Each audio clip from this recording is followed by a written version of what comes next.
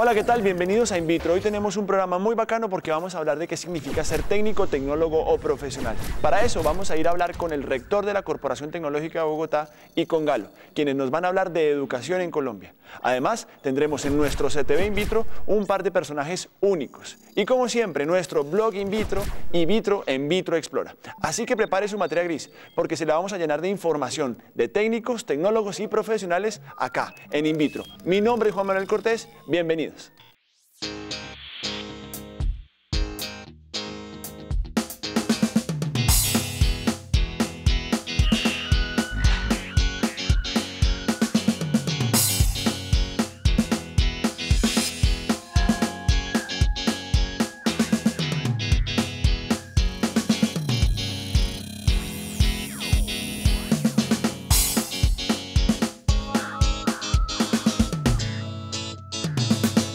En los 90 nuestro país se enfrentó a un problema. El problema era que no teníamos posiciones intermedias porque estábamos canalizando toda nuestra educación hacia la generación de profesionales, pero profesionales en el sentido de un ciclo completo. No habían posiciones intermedias porque no existía la figura de la potencialización como gobierno, como de país, de generar educación a técnicos y a tecnólogos. A través de eso nos dimos cuenta que nuestro país carecía de información técnica, de empresas que generaran pues, productos técnicos productos de tecnología. Estábamos entrando a la globalización, a la posmodernidad, sin tener infraestructura humana. Por eso nuestro país entra en un vuelco total en el tema de educación y comienzan a darse fuerzas importantes a través pues, de educaciones e instituciones, digamos, intermedias para la potencialización de esos individuos. Yo soy un fruto de eso. Yo soy una persona que, es, que soy técnica, que soy tecnólogo y que además soy profesional. Pero como profesional tengo falencias que no las había podido suplir si no hubiera sido técnico o tecnólogo. Es por eso que aquí existen varios puntos de vista. Ese es el mío. Vamos a escuchar a otros acá, en Lente In Vitro.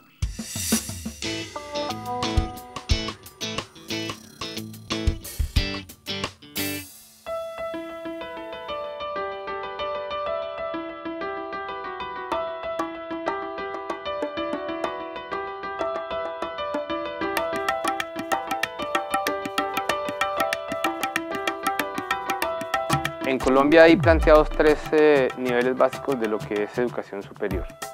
Eso está establecido en la ley 30 y en la ley 749. ¿Qué niveles son?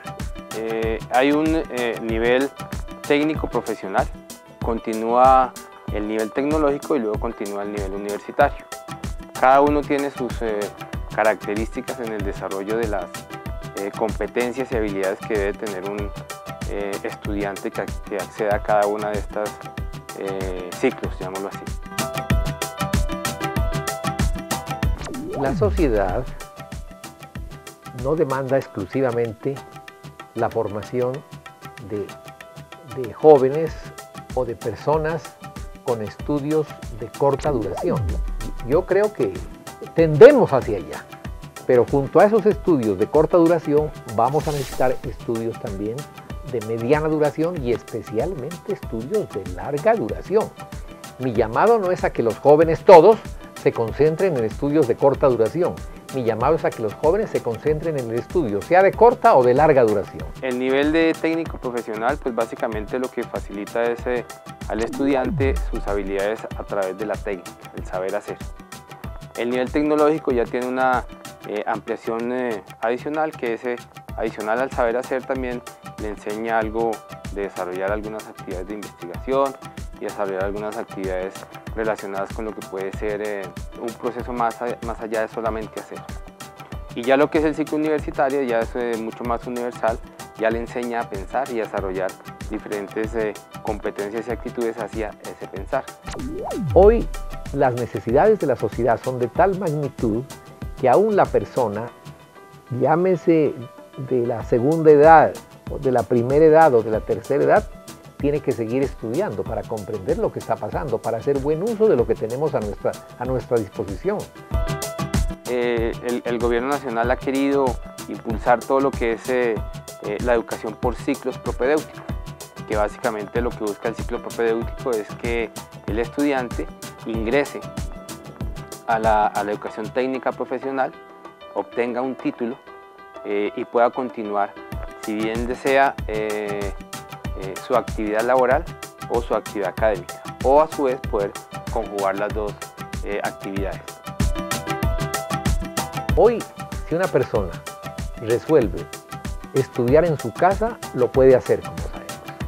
Pero si esa persona además quiere resolver ese problema, que es su formación, lo puede hacer también a corto plazo y esto me parece que es algo, algo bastante atractivo.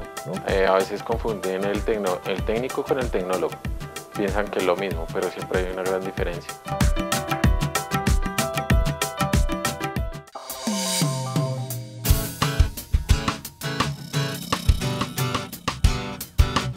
En Asia los técnicos son quienes tienen la capacidad de crear dispositivos y los tecnólogos son quienes los diseñan, los inventan. Los profesionales son quienes gestionan a estos dos. Esto es una correcta relación entre los tres niveles, entre los técnicos, los tecnólogos y los profesionales. Acá viene nuestro blog in vitro.